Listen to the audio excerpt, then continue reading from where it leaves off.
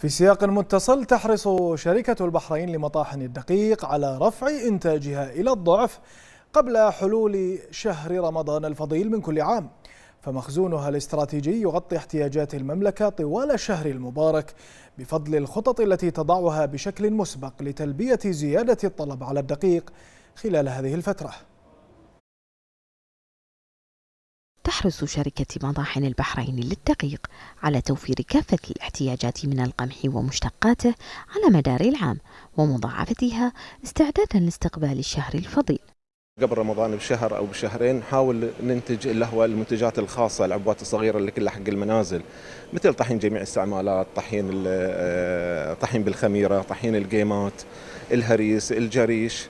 إنزين هاي العبوات الصغيرة نحاول ننتجها. إحنا قبل رمضان على أساس إن إحنا نغطي إنزين بالإضافة إلى السلة اللهوة الرمضانية. إنتاجنا بيكون آه، في آه، موسم رمضان أكبر من إنتاجنا في في آه، في الأشهر العادية. يعني على سبيل المثال طحين الخاص ننتج له حوالي تقريبا 8 طن ونص تقريبا في اليوم. زين. آه السميد بعد نفس الشيء. الهريس 10 طن وشوي تقريبا كذي يعني لو بنحسب إنتاجنا من من الإنتاج الخاص من الهريس أو الجريش أو الطحين جميع استعمالات أكثر من 200 طن في خلال الشهر. يعني من 250 ل 300 طن تقريبا كذي ها. هاي إنتاجنا من العبوات اللي خاصة حق رمضان. نضاعف الإنتاج خلال موسم رمضان أكثر من 50% منتجات متنوعة ذات جودة عالية تصنع وفق أعلى المقاييس العالمية للغذاء يتم إعدادها من خلال أفضل المعدات والتقنيات ليصل المنتج للمستهلك بجودة عالية لترضي متطلباته خصوصا وإنها تضع خطة استراتيجية متكاملة تقوم بمتابعة أدق تفاصيلها من خلال غرفة المراقبة التي تتولى متابعة خط الإنتاج على مدار الساعة لتقدم منتجا طازجا وطبيعيا خال من المواد الحافظة. شركة مطاحن الدقيق ملتزمة أن تنتج جميع المنتجات بحسب أنظمة سلامة الأغذية فجميع المنتجات من طحين وحبوب تم إنتاجها حسب المواصفات الغذائية. وإحنا طبعا عند كل مرحلة من مراحل الإنتاج نأخذ عينات نتأكد من جودة المنتج قبل تصنيعه وحتى بعد تصنيعه وقبل ما يطلع يعني للعميل.